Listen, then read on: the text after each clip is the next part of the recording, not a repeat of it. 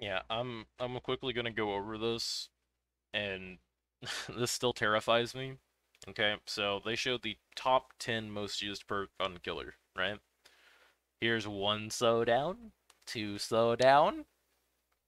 Where is it?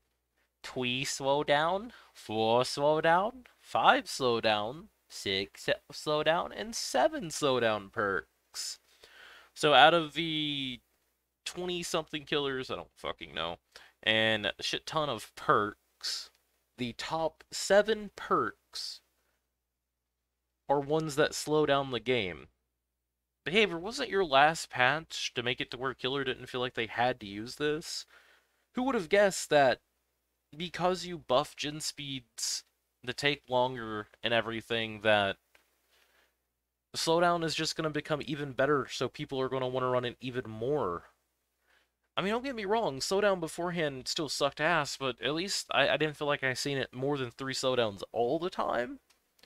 But it really feels like you're seeing a lot of slowdowns still. So everything the previous patch was doing kind of still doesn't make sense, as Survivor is in the worst spot uh, ever, and the only benefit was, yeah, we're finally going to nerf slowdown, so killers, you know, not just slowdown.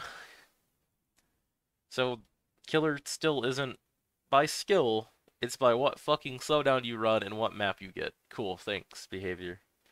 I can't wait to get fucked by RNG with no slowdowns and get the game and then just be forced to camp someone at 5 gens because that's the only feasible way a good killer is going to do anything on that map.